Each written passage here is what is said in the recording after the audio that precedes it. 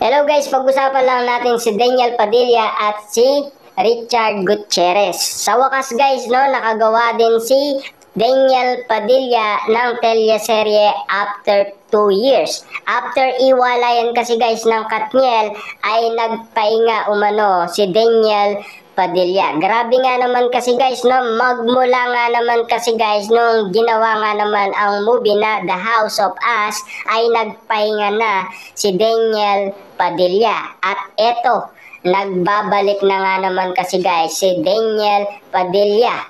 Kita nyo naman guys, no? Teleserye pa lang yan guys, pinagkakaguluan na siya sa El Nido, Palawan. Ganyan kalakas guys si Daniel Padilla. Kita nyo naman guys, no? Concert pa lang sa Davao City, pinagkaguluan na si Daniel Padilla. Sa Mindoro guys, concert pa lang yun ha.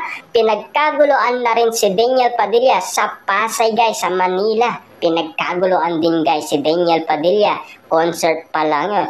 Eh papaano kaya guys kung movie na at teleserye na? Mas pagkakaguluhan si Daniel Padilla. Mas masusubok guys ang galing ngayon ni Daniel Padilla dahil solo artist na lang siya. At lalo-lalo na guys, pangarap pa niya ito.